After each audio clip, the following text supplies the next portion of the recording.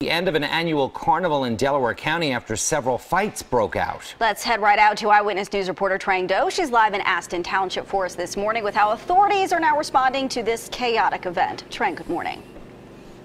Hey, good morning, Jan and Jim. This carnival was supposed to run through Saturday night, but the situation here was so unruly that fire officials have decided to shut down this town tradition permanently.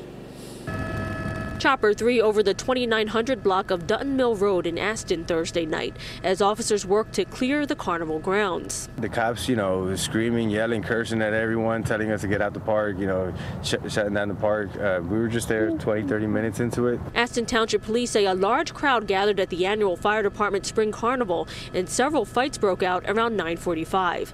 The police department had to call in help from other area departments to disperse the crowd. No injuries were reported, but several people people were arrested. Witnesses described enjoying a night out with family that quickly went from calm to chaotic. You heard a bunch of cops just screaming, "Get out! Everybody, get out!" I mean, there was there was at least 30 cops running. I mean, it was scary. It was to the point that I was looking for my older daughter, telling him to call because I'm pushing her out out of the way because it was that scary. The fire department later blamed quote out of town troublemakers for the fights and thanked police for defusing the situation.